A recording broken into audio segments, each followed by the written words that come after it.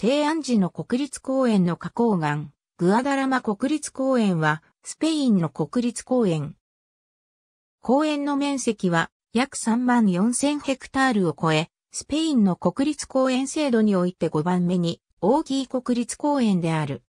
セントラル山系のグアダラマ山脈にはいくつかの生態学的に豊かな地域がある。マドリード州及びカスティーリャイ・レオン州に位置する。2003年6月26日に国立公園に指定されたことがスペイン政府官報で公表された。イベリア半島で唯一グアダラマ山脈に存在する地中海地方の鉱山を含む11の異なった生態系を保護することがグアダラマ国立公園の指定の目的である。この国立公園の領域には絶滅の危機に瀕した13種や1500種以上の原生植物に30種類の植物などが含まれ、計1280種以上の様々な植物の種が存在することが宣言されている。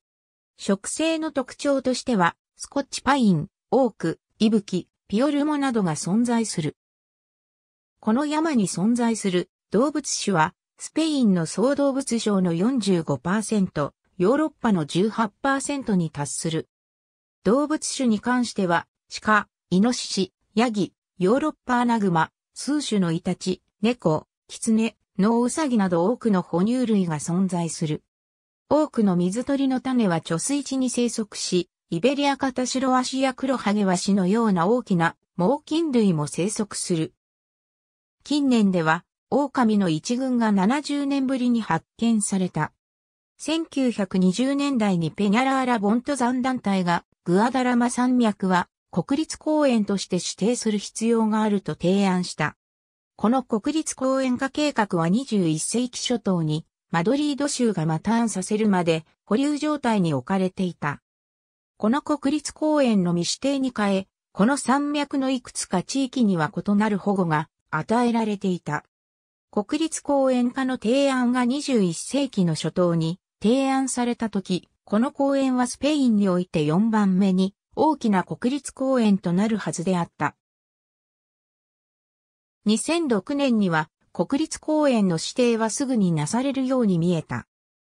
国立公園化計画のマドリード州の宗教にかかる部分は2006年11月に承認されている。スペインの自治州であるカスティーリャイ・レオン州は国立公園内の一部に終領域が含まれることに原則的に合意したが、対応計画の作成に遅延が見られ、2008年初頭には横に置かれるようになった。報道によれば、カスティーリャイ・レオン州は人口の減少に悩まされており、州政府はスペインの首都に近いことで、開発会社にとって魅力的であったこの地域に開発制限がかかることを嫌がっていたとされる。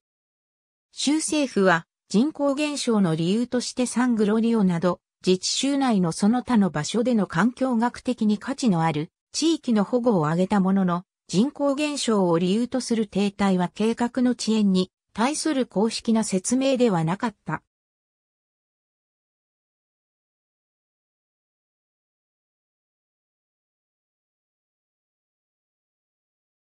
この国立公園化計画への遅延に対する公的な説明は伝統的な土地利用権の保護への要望のためとされた。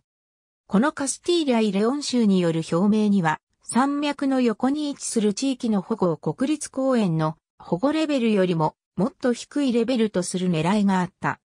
何にせよ、2009年には計画の規模は縮小され、タイムテーブルにはこだわったものの、カスティーリャイ・レオン州は2010年の国立公園設置計画が承認されるよう指示した。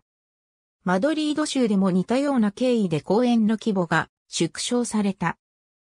マドリード州での計画2008年後半、マドリード州は計画されている規制によって伝統的な土地利用への制限がかかってしまうことへの懸念を引用し、国立公園におけるマドリード州部分を縮小するよう提案した。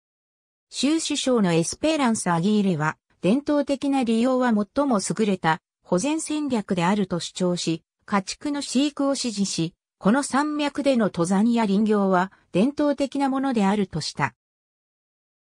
これに次、狩猟や釣りなども同じく分類されると考えていることを明らかにした。アギーレは保護される土地面積が縮小されることはないが、中心部の外では保護レベルは下がるであろうことを示唆した。国立公園の領域は大部分は山頂に限定され、下部の斜面にはこの山脈に家屋を建築する適切な機会が十分に残された。2009年には詳細な提案が提出された。